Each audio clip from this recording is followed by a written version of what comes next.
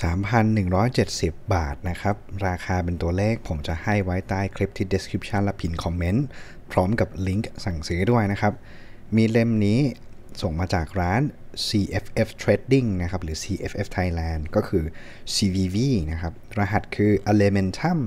Charlie 907 Alpha ขีด4นะครับ เป็น variant คือ Polish Transparent Yellow Ultem Handle ด้ามเป็นวัสดุใหม่ที่ในอุตสาหกรรมมีดเพิ่งจะมีการนำมาใช้ได้ไม่นานเท่าไหร่นะครับ แล้วก็รุ่นนี้เป็นรุ่นที่เพิ่งออกด้วยนะครับ Satin Finish D2 Blade Made in China นะครับ อีกครั้งหนึ่งนะครับ 3170 ตัวนี้จะมีความพิเศษก็คือด้ามที่เป็นวัสดุใหม่อย่างที่ผมบอกนะครับผมเดี๋ยวเรามาดูกันแกะยังไงเนาะ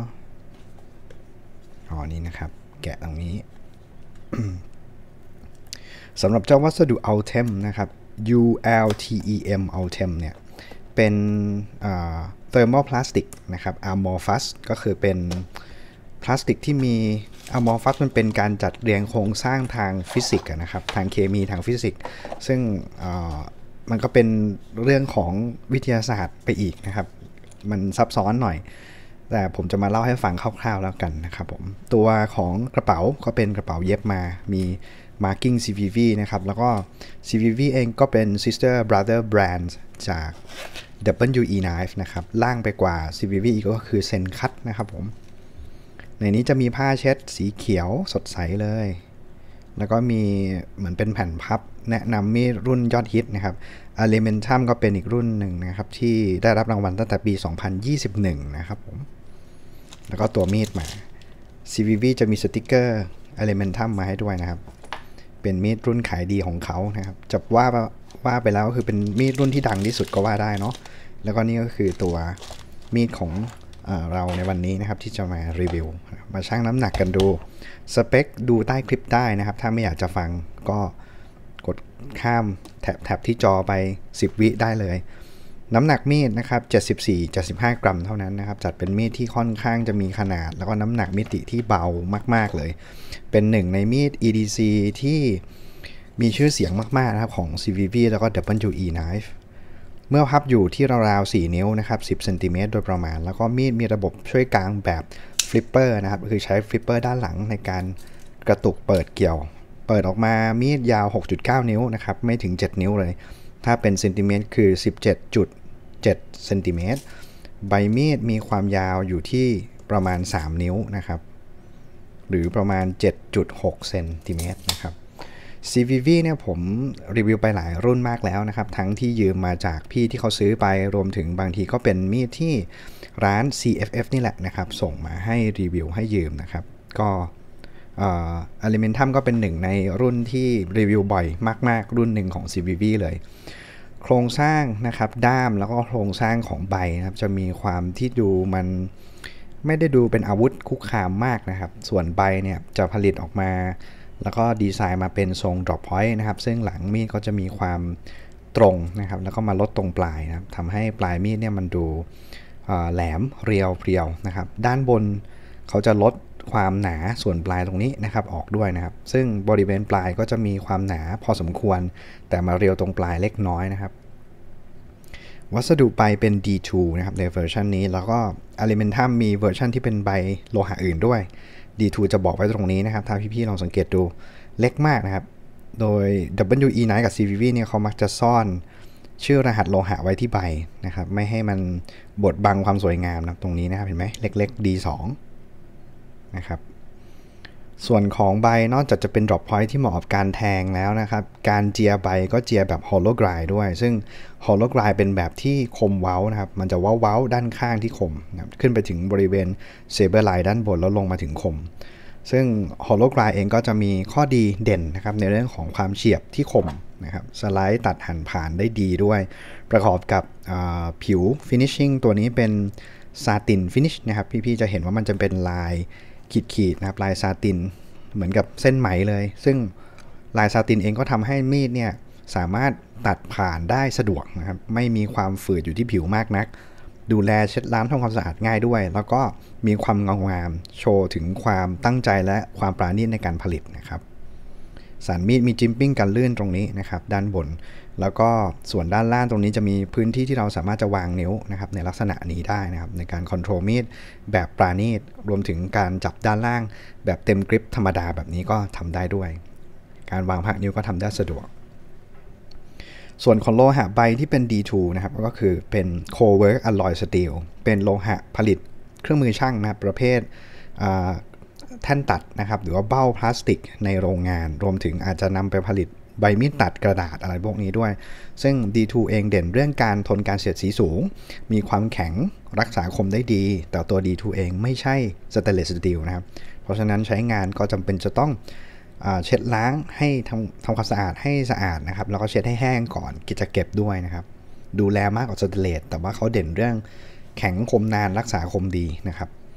ส่วนของโครงสร้างด้ามภายในจะเป็น stainless steel liner สีเทานะครับ ซึ่งเขาจะทำเป็น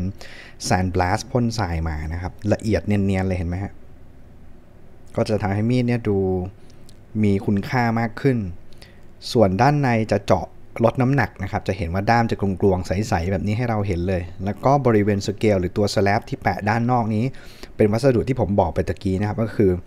Altem นะ Altem U L T E M Altem มันเป็นชื่อทางการค้า แต่ว่าถ้าเกิดประเภทของมันก็คือเป็น thermal plastic amorphous ก็คือเป็นพลาสติกที่ใช้ความร้อนนะครับในการผลิตในขั้นตอนการปรับปรุงคุณภาพแล้วการผลิต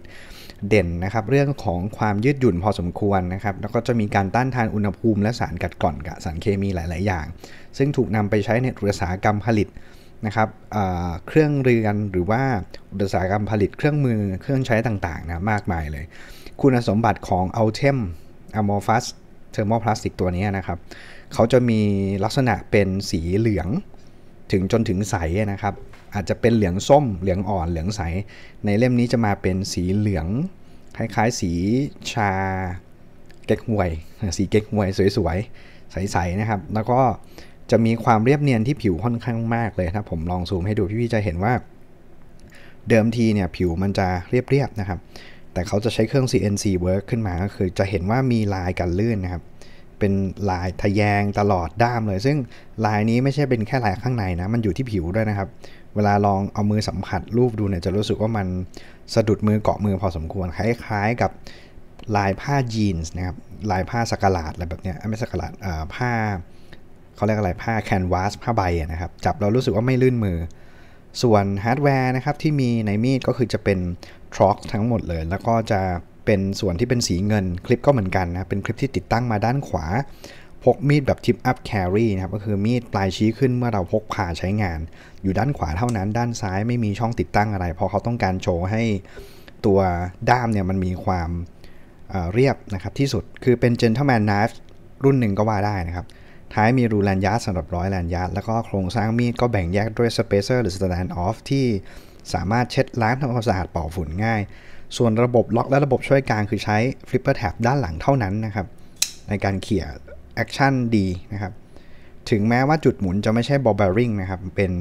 washer ที่เป็นบรอนซ์นะผมลองขยายภาพไปดูพี่ๆจะเห็นสีทองทองข้างในนะครับ ทั้งสองฝั่งเลยนะครับ ก็จะเป็น washer ซึ่ง washer บางคนบอกว่ามันทนกว่าไนลอนนะครับ แต่ว่า washer เองก็ที่เป็นบรอนซ์เป็นโลหะก็จะมีข้อด้อยคือ มันไม่ลื่นเท่ากับ ball bearing นะครับ แต่ดูแลง่ายกว่า ball bearing แล้วก็ทนด้วยนะครับ ซึ่งถ้าถอดออกมาขัดทำความสะอาดนะครับ ขัดเงาเนี่ยมันก็ทำให้มีดเนี่ยลื่นขึ้นอีกเยอะเลยนะครับ ก็ถ้าใครมีก็ลองรื้อดูได้ ส่วนระบบล็อกนะครับนิรภัยอันนี้เป็น liner lock ซึ่งเป็น liner bar นะครับ lock bar ดันขวางข้างใต้โคนใบมีดนะครับ แล้ว blade play บนล่างซ้ายขวาไม่มีเลยแน่นมากนะครับ แล้วก็การเปิดก็คือ ดันตัว lock bar ให้อ้าออกพ้นจากตัวระยะของใบนะครับแล้วพับใบมีดกลับเข้ามาในลักษณะนี้นะครับ เปิดสนุกนะครับ แม้ว่าจะไม่ได้ลื่นขนาด ball bearing แต่เป็นมีดที่เปิดได้แน่นอนและ Elementum เองมีเวอร์ชันที่เป็น button lock นะ เป็นปุ่มกดด้วย ใบเป็นทรง tanto ก็มี แต่ตัว Ultem นี้ตอนนี้ที่ผมเห็นจะเป็น drop point แบบนี้ก่อนนะครับ ด้ามก็มน ด้านหลังท้ายดู gentle ดูละมุนดีนะครับ เป็นมีด EDC เล่มหนึ่งที่ผมว่าประสบความสำเร็จมากเลยในการออกแบบ แล้วก็เป็นรุ่นที่น่าจดจำนะครับ ควรจะมีไว้อย่างน้อยๆนะครับ1เวอร์ชันนะครับในมีดของ CVV หรือ WE knife นะรู้สึก WE ก็มี Elementum ด้วยแต่เป็นเฟรมล็อกตัวนั้นนะครับ ราคาก็จะแพงขึ้น วัสดุก็จะหรูหราขึ้นอีกนะครับ ผมคิดว่าหลังจากจบคลิปนี้หลายๆ คนน่าจะ โดนเจ้าตัวนี้ไปไม่น้อยนะครับ คือน่าจะชอบน่าจะไปซื้อกันนะครับ ผมก็เป็นหนึ่งในนั้นด้วยนะครับ ชอบเหมือนกันนะครับ ขอบคุณมากนะครับ ทุกคนที่ติดตามชมดูรีวิวตัวถัดไปได้เลยจะเป็นเวอร์ชันอะไร แล้วก็ดูย้อนหลังในเพลย์ลิสต์ WE และ CVV ได้เลย ขอบคุณร้าน CFF Thailand ที่เอื้อเฟื้อให้มีรีวิวนี้ให้เพื่อนๆได้ชมกัน สนใจก็อย่าลืม กดเข้าไปในลิงก์นะครับแล้วก็ไปสั่งซื้อกันเองได้เลยนะครับ ผมมารีวิวให้เฉยๆ แล้วเจอกันใหม่ episode หน้านะสำหรับวันนี้สวัสดีและขอบคุณมากครับ Hey be right and out